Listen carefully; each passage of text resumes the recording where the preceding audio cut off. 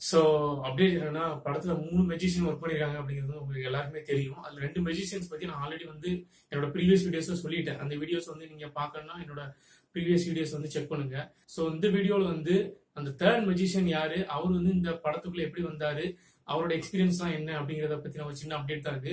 So third magician யாருன்னு கேட்டீங்கன்னா Danny பெலே அவர் வந்து பல்கேரியால இருந்து வந்திருக்காரு அவர் வந்து இந்த படத்துக்குள்ள எப்படி வந்தாருன்னு கேட்டீங்கன்னா ஃபர்ஸ்ட் மெஜிஷியன் சொன்னோம் இல்லையா? கோகோ ரெக்கியும் அவர் வந்து எப்படிப்பட்ட ஒரு மெஜிஷியன்னா அந்த க்ளோஸ் ஷார்ட் எல்லாம் பண்ணுவாங்க இல்லையா? க்ளோஸ் அப்ல கார்ட்ஸ் காயின்ஸ் எல்லாம் வச்சு ட்ரிக் பெர்ஃபார்ம் பண்ணுவாங்க அந்த மாதிரி ஒரு மெஜிஷியன் அவருக்கு வந்து பெரிய பிக் ஸ்டேஜ்ல வந்து இல்யூஷன்ஸ் பெர்ஃபார்ம் பண்ணுவாங்க இல்லையா? அதுல வந்து எக்ஸ்பீரியன்ஸ் கிடையாது.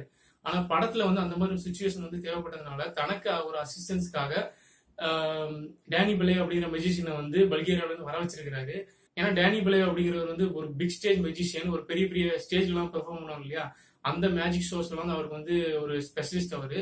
அதனால வந்து அவர் அங்கேருந்து வர வச்சிருக்காரு ரீசெண்டா நடந்த ஒரு இன்டர்வியூல நீங்க விஜய்க்கு வந்து எந்த மாதிரி ஸ்டெப்லாம் வந்து சொல்லி கொடுத்தீங்க? அதை பத்தி ஏதாவது சொல்ல முடியுமா? அப்படின்னு சொல்லிட்டு டேனிகிட்ட கேட்டப்ப அவரு அதை பத்தி வந்து என்னால வந்து இப்போதைக்கு ரிவீல் பண்ண முடியாது. ஆனா வந்து நான் அவர் வந்து அதே தான் சொல்லியிருக்காரு. நான் வந்து சொல்லி கொடுக்குற ட்ரிக்ஸை வந்து அவர் வந்து ரொம்ப ஈஸியா வந்து கேட்ச் பண்ணிக்கிறாரு. ரொம்ப டெடிக்கேட்டடா வந்து பண்ணாரு அப்படிங்கிற மாதிரி சொல்லியிருக்காரு. இன்னொரு விஷயம் வந்து விஜய் பத்தி சொல்லியிருந்தாரு. அதுதான் வந்து ரொம்ப முக்கியமான விஷயம்.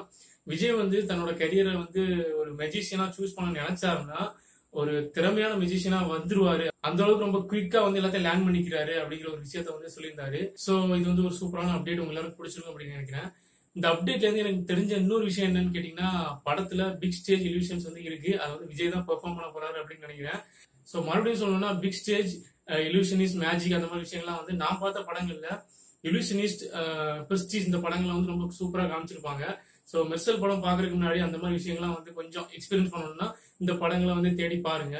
ஸோ இந்த வீடியோ பிடிச்சிருந்துச்சுன்னா லைக் பண்ணுங்க. முடிஞ்ச வரைக்கும் இந்த வீடியோ வந்து ஷேர் பண்ணுங்க. மெர்சல் பத்தின மோர் அப்டேட்ஸ் வந்து சேனல் சப்ஸ்கிரைப் பண்ணுங்க. நன்றி வணக்கம்.